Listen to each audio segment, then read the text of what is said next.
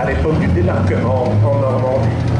Les Américains l'ont appelé le Medium Tank LU-4. Et ça, les Britanniques ne trouvaient pas ça charmant.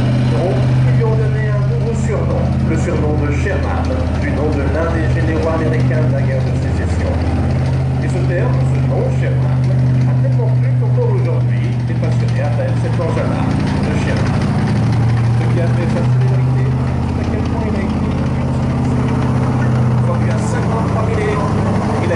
sur tous les fronts.